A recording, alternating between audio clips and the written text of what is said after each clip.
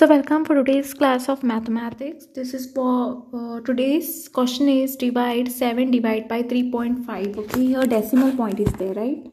So how you, uh, all are going to divide, especially when you have a decimal point. First, uh, take down the question. Divide 7 divide by 3.5.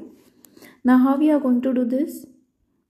First, write down 7 divide by 3.5. Now basically this is equal to 7 divided by if I want to remove the decimal point I have to write 35 divided by upon 10 okay 25 upon 10 I have removed a decimal point. So this is 10th place right? 1 only one decimal point is this so upon 10 will come.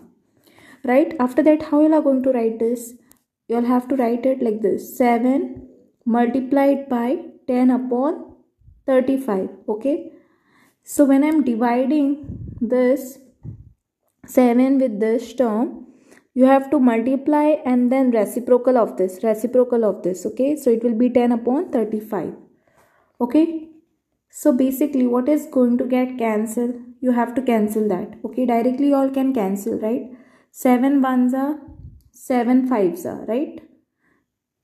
You all can cancel it. So 5 ones are 5 twos are 10 so what is the answer? Basically answer is 2 so I hope you have understood how to divide this 7 divided by 3.5 and thanks for watching. If any doubts queries you all can comment below.